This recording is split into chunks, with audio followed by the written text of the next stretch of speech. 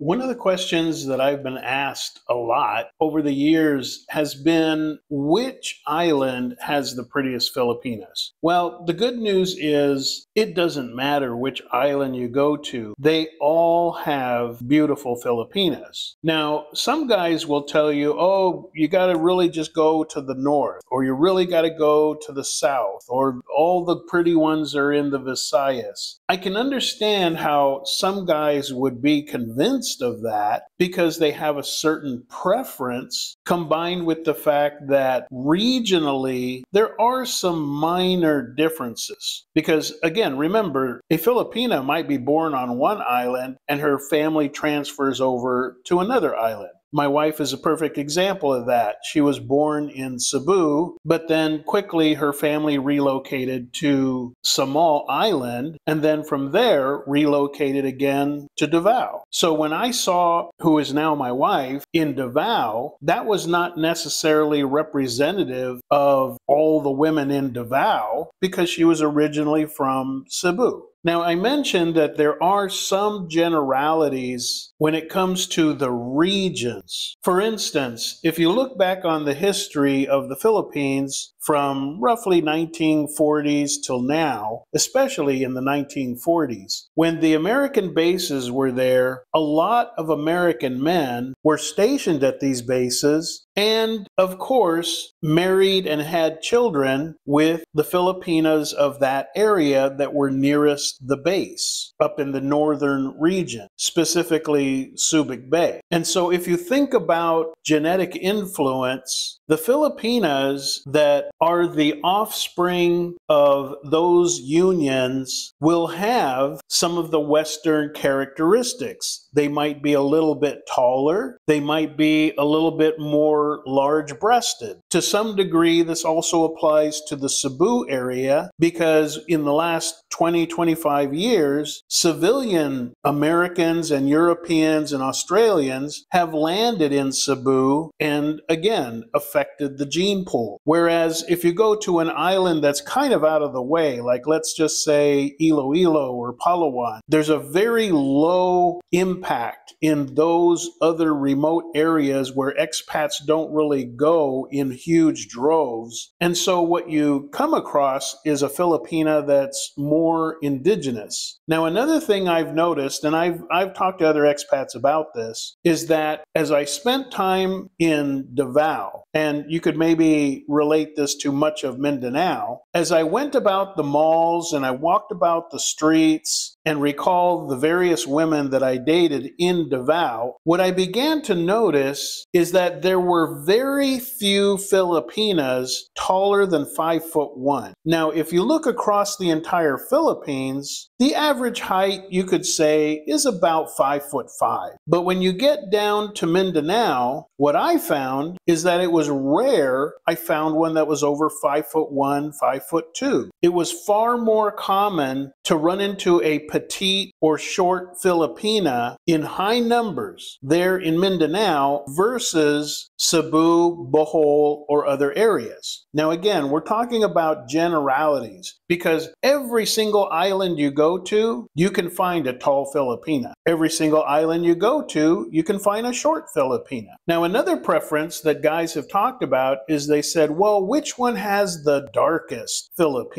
Because they really like the morena skin. If I was to break it down again into regions, there is a tendency in the larger cities for women to want to be as light as possible, light skin, because in these larger metro areas, there's a big push and pressure and bias and favoritism towards a light skinned Filipina or Filipino, especially when you're talking about administrative jobs or jobs that deal with the public. In all of the advertising and the famous actors, Filipino actors and singers that you will see in the Philippines, you begin to notice very few of them are dark skinned. Most of them are light skinned. So when you talk about areas like Manila and Cebu, it's a very positive place for a Filipina who is light skinned to carve out a life for herself in a more professional occupation. Conversely, you go into the hills, the mountains, the very small islands, and it really is not a negative thing to be dark skinned because pretty much everyone is fairly dark skinned, medium to dark. Being as how they're in a rural area, they also will be more likely to spend time outdoors. The quote unquote province girl is going to be spending more time out at the beach and outdoors than your average city girl. So you have to take into account are they dark because they were genetically born with a higher level of melanin in their system,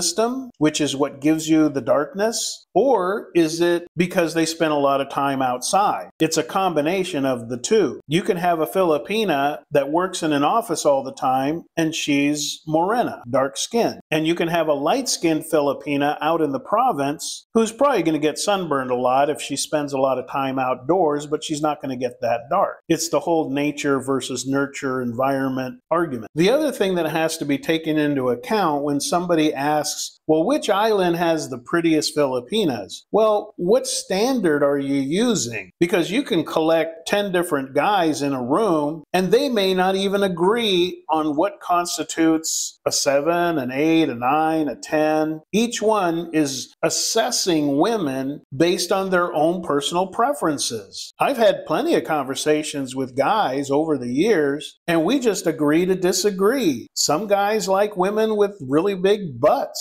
I don't. Some guys only like taller women because they are tall and they feel awkward with a short woman. I can understand that. To some guys, she's not really attractive unless she's got a little bit of meat on her, a little chunkiness. So you really can't nail down where all the prettiest women are on which island when you can't even nail down, well, what's a 10 in one guy's eyes and what's an 8 in another. Now, what I have shared with many, many comments that have come in about the images that you see even right now on the screen, which again, for the record, are created with AI. I create each image individually from scratch using AI software. AI is still trying to figure out what a Filipina looks like. Filipinas kind of cover a spectrum because of its history with the Middle East, China, United States, so there are varying looks, and AI can't always nail that down. If I ask it to give me a Colombian woman, a Mexican woman, a Japanese woman, a Korean woman, it can pretty much nail that down. So a lot of guys have looked at the images on the screen and said, well, I can't believe that all the Filipinas, when I get there, are going to be that pretty. Well, that's good that you don't expect that because that's not reality. What is closer to reality is on the one hand, do Filipinas, like in the images here, really exist in the Philippines? The answer is yes. In fact, there are times when the AI gives me an image, and the first thought is, oh my gosh, that looks like so and so that I dated three years ago, or five years ago, or seven years ago. So these women do exist. But let's talk about percentages. If I was to ballpark it based on 11 years of being in the Philippines, constantly dating various women, I would put it at approximately 6% of the Filipinas that you will see when you're in a big crowd. 6% by most guys would be rated a 7 through a 10. 6%. Now, again, you have to keep in mind some guys, the prettiest woman that they will ever cross paths with is a plain Jane 5. That's the kind of woman he's looking for. He doesn't want glamorous, cute, or sexy. He wants a plain Jane woman with some conservative values. But if you were to put it in percentages, I'd say 6% are what most men would consider a 7 through a 10. And the 10s, which would resemble what you see in the video here, only make up maybe 1%. Now, some guys have said, no, I've never seen a Filipina look that good. Well, do a YouTube search on videos that cover the Philippines beauty pageants, and you will find that that yes, these nines and tens do exist. Now, again, I would say the tens are roughly 1%. One out of a hundred Filipinas you run into randomly is going to be a 10 or a 9. So don't get off the plane thinking you're going to be surrounded by the women that you see in the AI images here. They do exist, but not all of them. Again, I put it at roughly 6%. There's also the observation that a good majority of the former Miss Universe winners have been Filipinas. But here's the catch. The majority of those, in fact, all the cases that I can think of from the top of my head, and I have looked at the images of the previous Filipina Miss Universe winners, they tend to be half Filipina and then the other half Australian or German or whatever. I believe the most recent one, her name was something like Pia Wurtzbach,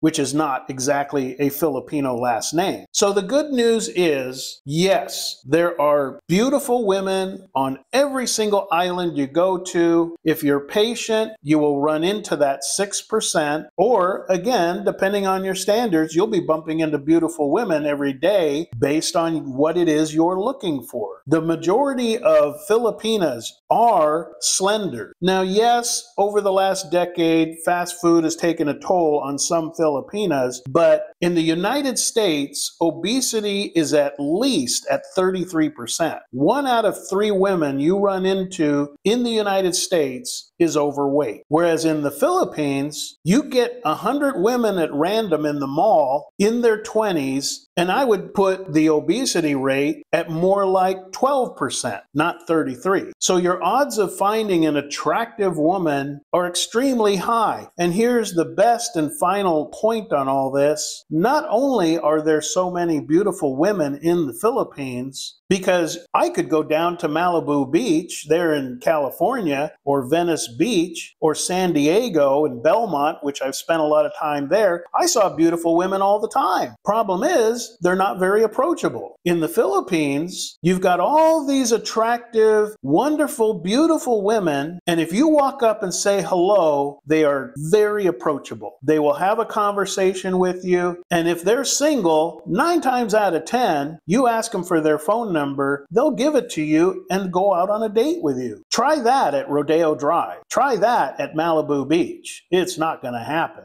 But in the Philippines, to answer the question, there is no island that has the monopoly on beautiful women. They are on every single island.